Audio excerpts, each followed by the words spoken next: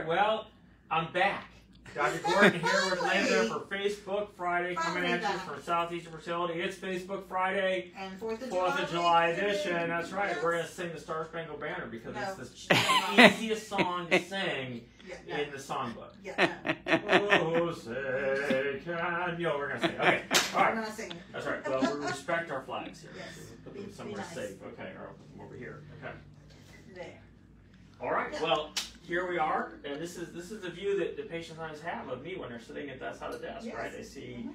they see, and so this is evidence. The photos on my wall are evidence. If you take two thousand photos with your iPhone, you get about twenty good ones, and then you can upload them to art.com and print them out. And people think, Yeah. "Oh, he's such a good photographer." God, you know. Even a blo- even a broken clock is correct twice a day Yes, it is. right? So you just take those pictures. So anyway, so here we are. So um, it is the Fourth of July weekend, and I can't believe that we're already here in July. I know. Can't believe it? I mean, we're it's incredible. It's the summer, right? It's it, it's just incredible that that we are already past the longest day of the year, summer solstice, and now days are starting to get shorter, sadly, but still a lot of summer left. And here we are, Fourth of July, and I can't believe that it's going to be nice tomorrow. We're hoping to have Yeah. like a little picnic for It'll the staff, fun, and it'd yeah. be nice weather, so that'd be good. So you know, I can't believe that either.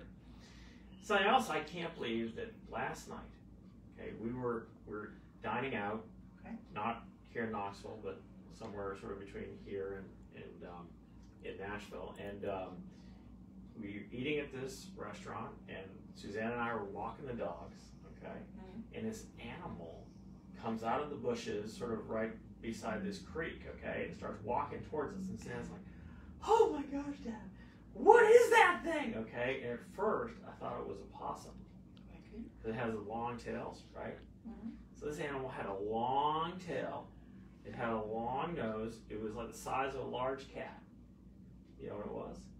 It has armor plating on it. Armadillo? It was an armadillo. Oh, okay, an man. armadillo. I was like, That I didn't even know that armadillos were in Tennessee. I, d- I didn't know escaped that. From a They're zoo. tran- no, they're or escape- transplants. Are they? Oh my gosh! It was like the craziest looking Yes. thing, and it started coming towards us and the dogs. And I was like, "Oh my gosh, Dad!" Oh my gosh. She's like, "Can I touch?" it?" I go, "No, you cannot touch the armadillo." It's a wild So- animal. That's right. So what do? And this is one of those things that Allison drives. She that drive her crazy because I always point this out. What disease is carried in the toe pads of the seven-striped armadillo? I have no idea. Mark, Uh, I boy, I don't even want to hazard a guess. Uh, leprosy. leprosy, Leprosy, really? the toe pads of the armadillo. So if you see armadillo, Don't don't pet 'em. don't touch its toe pads. When you touch the other part, you say, Yeah. "Ah." or anything else. I mean, maybe if they're bred in captivity, it wouldn't be a problem. You can but I guess it up the wild. it back That's right. to So uh, that's right. Arizona or something. That's right. So if you That's- start, you know, so don't touch the toe pads of the armadillo. Allison said, "Do you know how many times you told me that in our marriage?" I go, "I'm saying, I just want the point to get across. Don't touch the toe pads of the armadillo." Okay. So can you believe that I saw an armadillo here in Tennessee? I mean, No. I expect you to text. No, me, that's right? that's Isn't surprising. that crazy, right? I Yeah. said to I think Suzanne, I was was like, about a year I ago, thought it was a giant that. rat. I mean, it was like, you Yeah. know, It's huge. you- there's nothing that looks like an armadillo, right? No. I mean, you No. just you know that it's armadillo, right? Well, Carol said when she lived in Memphis that sometimes they would see them where they would like climb in trucks or something and Oh, really? be, you know, people would come to, Wow. you know, so they basically transplanted themselves. But I've never eating? heard of one. A good eating? No. Possum pie, It's, it's, squirrel pie, it's hard to get past armadillo pie. the armor. There. That's because they must be really tasty. Must be. That's why you have the arm wrong because they're so tasty. Otherwise, everybody would eat them. Except for the leprosy. All right, all right. So what are what are except for leprosy? Don't eat the toes. Don't eat the toes. Okay. So what other things? So we're talking about Oh dear. i- is it difficult to believe? Okay, so I can't believe things that that are can't hard to believe believe. It's not butter. Okay, so Dr. Gordon is here, so that's gonna be my first thing. I can't believe Dr. Gordon is here. Okay, like reasonably sure that Dr. Gordon was gonna show up for Facebook Friday, right? I heard that one. Reasonably sure. And well, Uh-huh. why should I come? I mean, when your numbers are No, always no, like no, like effe- like like order two orders of magnitude higher when I'm not on Facebook Friday. Yeah, you're not going to tell Tom Sawyer. It's us. me. It's me. I think that's right. You're not gonna start painting the fence Listen to Aunt Polly. to. Listen to Aunt Polly. You know? All right. Okay. So, just for those who can't believe that I'm actually here with you today, Lynda. So, all right. That's right. He really all right. is. Okay. Yeah, that's right. He's here. in He's here. Okay. All right. So we had a very nice email uh, from a couple who had been through a lot of treatments, and they said that we can't believe just how nice everyone is here. That they had been to to multitude of fertility practices, including some big name places, Cornell, CCRM, some of these other places Not that that we people would know. mention the names. No, no, but you know, I'm just saying. I'm just, I didn't say their names was. I'm just saying, so you know, No, but and- Cornell. I mean, you know, I mean, Cor- I mean, it is what it is, right? I'm just saying, you don't want to. I don't want to practice this that way, right? We want somebody who says this is so different, right? So different is good. So they, well, one thing they said, just how nice everybody was. So you know, and we do have wonderful people. You know, just really, really great staff, and you know, you just can't. You know, y- there's no substitute for that, right? I mean, nobody. Does anybody want to be here? No, no. I mean, not you have to be here. You get I was gonna say, To I the like my patients, like, job, I thank know. you. The patient. Oh, no. No, you, you, who Sorry, I- wants to go see a fertility doctor? hearing You you don't sit around sitting there like, well, should we watch something on Netflix or should we go to the fertility clinic? I mean, Yeah. you don't want to. You don't want to have this problem. Of course not, right? We understand that, right? So the least you can do is to, to make it as best an experience you get. Exactly, right? Why why be mean when you can be nice, right? That's Right. right. Other patients have been I may not have surprised. sleep right last night. okay? That they they can't believe that we do natural cycle IVF. They said, "Wow, I mean, but what drugs do you use?" I'm like, "We're using Trigger the shot? drugs. Trigger shot only." They're like, "But but I take all the other shots." I'm like, "No." I said, "What do I do with the extra embryos?" I said, "But there aren't any because." You just go after one egg, right? Well, no, we do. Yeah, You know, sometimes occasionally more, get two, but but still, I'm just saying, you know, but they said, well, but we can't imagine you do it. And they said, then they called some other clinic and they said, well, we do it, but it costs the same as the regular IVF, so you might as well just do the regular IVF. Which, I mean, that's, I, I would say I would agree, right? I mean, why, you, you sh- it shouldn't be sort of the same price because we know it's a different animal. You're just going Yeah. after one egg, get in, get out, that's it. And, you know, Carol's and Sarah and Julie's amount of work will be much reduced because just, Yes. we know it's just the one egg. But they were like, you really do it. You really do it. You're not just saying it. They said, no, really, really offer it. So they were just really just amazed. They said, I can't believe that you really do that. Okay.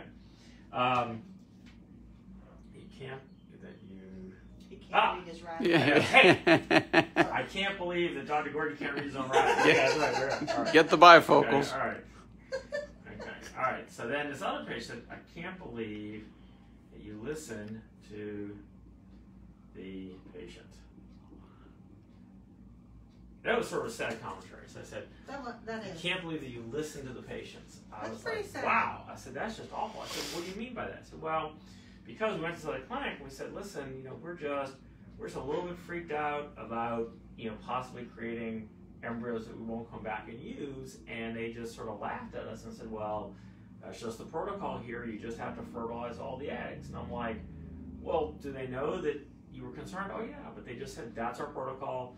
Whatever you get, you have to fertilize. And I was like, what about freezing extra eggs? What about doing mini IVF? What about doing natural cycle IVF? They're like, nope, this is the way we do it. You just have to do it, or you can just hit the road. And so they, they came here. and They were So they like, hit the road. yeah, they hit the road. But they were, they were hours away, you know, and I felt bad. They were just hours away, and I said, I, I'm sorry, you know, but they, they're, you know, a lot of patients have come from from outside town, and you know, not just NDC patients, but even for for IVF, and you know, stayed here. It's lovely. The Smokies are close by. You know, number one visited national park in the country, right? So it's all good. So, but they were just like, well, we just can't believe that you're you're actually listening to us, at least discussing this as, as that you believe that it's fine to have this concern. And I said, no, I, I think it's totally appropriate. I said, I'm just sorry that that was that that was the issue that that, that you you felt sort of just dissed on, you know, that you just, like, Yeah. just ignored it, right? Okay. That's All right. a huge issue. Yeah. I mean, We've had Facebook Fridays about that before. Yeah. All right. Okay. plus- Okay. Number five. Okay. That you see the doctor. I can't believe that you see the doctor I mean, not on Fridays when I'm not here, but most times. So, so that's that was a, that was a big deal, and I Yeah. think that that's um. And I will say that that there's one thing that that for those 20 years in Washington D.C. that, that we really strove to have hands-on to see the patients do their scans, and I think that now DC patients being what they are sometimes have a different perspective of being seen by the doctors. I had one time a patient just said, I just can't believe it. I, I just didn't see a doctor the entire IVF cycle. I'm like, what do you mean? Said, well, I'm just telling you, I just didn't see you. I said, wait a second. Let, let's look at, you had seven ultrasounds. I did five. Dr. DiMattina did one. The nurse did one. She said, oh, yeah, the nurse did one. I said, wait, you, but that's not the same as saying I never saw the doctor. I said, we're saying that like six out of the seven ultrasounds were done by a doctor. Five of those six were done by your doctor.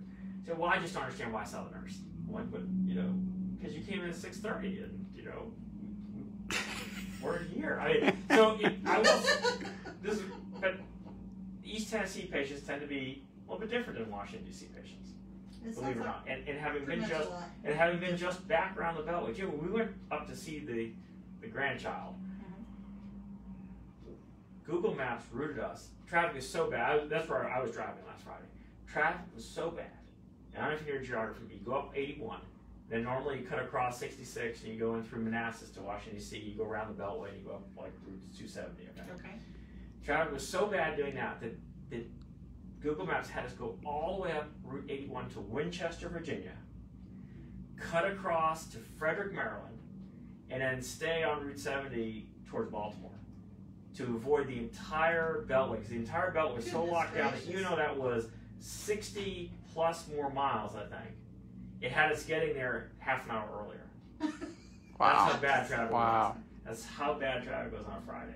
Um, Jeez. I just could not live in I the know. city. So you imagine, like, if that's what you're dealing with every day. I mean, you come to the fertility practice, you're already unhappy. You're stressed out. You've been in traffic all day long, Mhm. and then you're going to see this fertility practice. You say, yeah, I, you know, I didn't see the doctor one day. I'm not happy about it, right? You're not happy about all of it, right? I mean, that's that, that's true, right? So, anyway. okay, and then. um and I guess that, that the final thing I say is uh, as we close in on a two year anniversary, I can't believe we're Mhm. here. Mm-hmm. You know, that Alice and I are just, you know, we're just so happy to be part of this family, to be part of the He's in family. God's country now. In God's country, and you know, and, and, and what a great to have such a great staff, and you know the things that we've done. And think about, you know, sort of two years when we started, and some of the things that we had hoped to to do and to build upon. You know, what Dr. Keenan had laid down as a great foundation, and uh, you know, do some other things, and just it's been it's been very gratifying. And you know, just to be able to do that, to be participating with the ADC, and we're just doing a little video thing yesterday, and just you know, it's all been so great. So it's all been good. We're glad to have you. We're glad you're here. That's good. Was that your last Uh, one? yeah. Do you have one? I have one. Ooh, okay. You don't have to, I can't, I'm not coordinated like that.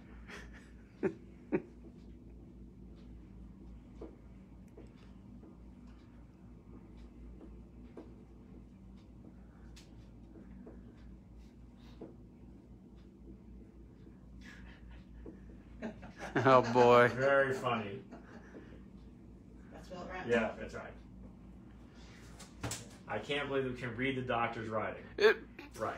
Because He does it was- good. Yeah, it was good. That's right. Well, most days I can I I have I have taken to dictating. Just a Keenan dictates everything, you know, and I, I have taken to dictating some of the you know certainly my new patient notes, but it's little daily notes. I'm trying. I'm, it's like I know. It's just, okay. Mea culpa.